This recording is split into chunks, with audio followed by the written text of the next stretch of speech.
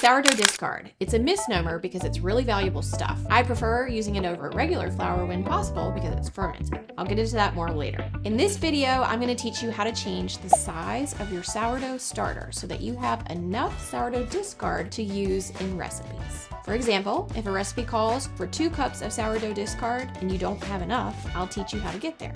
And I'm gonna teach you three delicious recipes. Crackers, a casserole with a sourdough crust, as well as flatbread you can use to make sandwiches and more. First, why would you want to use sourdough discard at all? Let's take white flour, for example, which has been refined. So some of the beneficial parts of the grain containing the nutrients and fiber have been removed. But what if we could ferment this flour, thus completely changing its properties? This is what happens with sourdough. Fermentation changes the gluten so that it's more easy to digest. Fermentation helps break down phytic acid, which helps us better absorb the nutrients. And it's even thought to have more antioxidants. In addition, fermentation has a way more favorable effect on your blood sugar, and it's good for the gut. Yes, the microbes will be killed during the baking process, those probiotics we hear about. However, other substances called polyphenols are produced, which feed our gut bacteria. So that's also important. So for all these reasons, using your fermented sourdough discard is really smart for your health. If I use sourdough discard in a recipe, oftentimes I just use the sourdough discard. However, if it's a recipe that calls for extra flour, I'll leave my sourdough discard mixed with the flour for 12 24 hours and let it ferment. Then I'm getting all the benefits I just mentioned. So let's get started with the first recipe, crackers. These have a total of only four ingredients and they're still delicious. In order to make sure I have enough sourdough discard for this recipe, let me show you what I do. I have a bunch of sourdough discard over here, but what if you didn't? Here is my starter, and there's probably only about a half a cup of it. So here's what you do to build your starter. If you need one cup of flour for a recipe, or even two cups, or even three cups, put in that amount of flour, dump in as much as you want, What's gonna happen once you mix this up with water is all of the yeast and bacteria that were in that half cup of starter, they're gonna multiply and eventually ferment this whole thing. You might have to wait a little bit longer than if you had just added a tiny bit of flour, but it will happen. I did this last night, for example, because I wanted to have a bunch of discard on hand. And honestly, I probably had a half a cup of starter and I fed it good four cups, left it out on the counter, and by this morning, it was all bubbly and fermented. So now you have a good two and a half plus cups of starter here that you can use for discard. Make sure you wait though, because this has not fermented yet.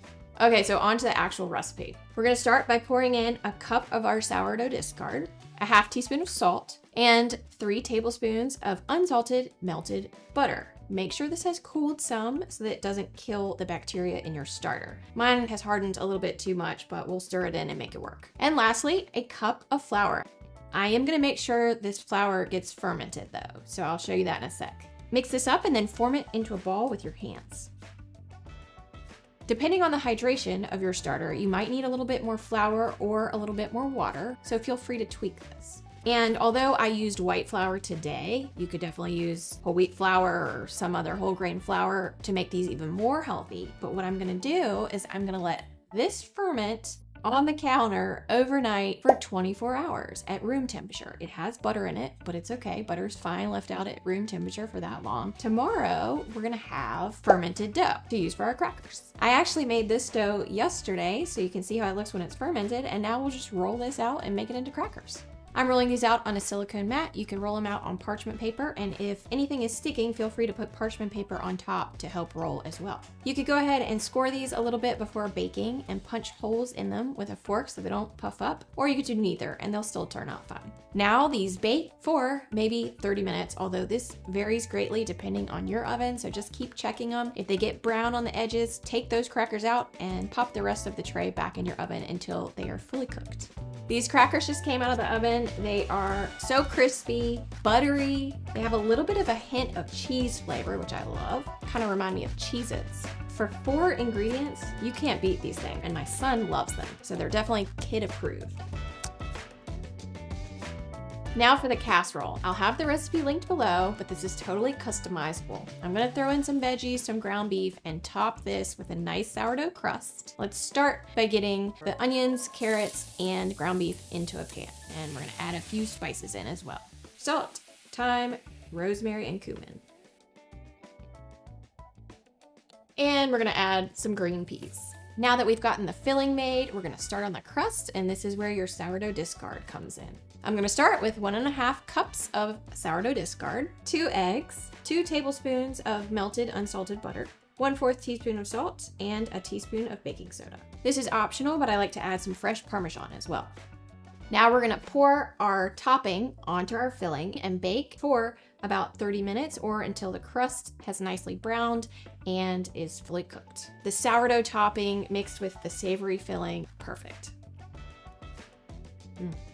And now for our flatbread. This is so easy to whip up, only three ingredients. We're cooking them like pancakes. They're very versatile. I like to use them for wraps and sandwiches. We just start by throwing all our ingredients into a bowl and mixing them up. 2 cups of sourdough discard, a fourth teaspoon of salt, and a half teaspoon of oregano.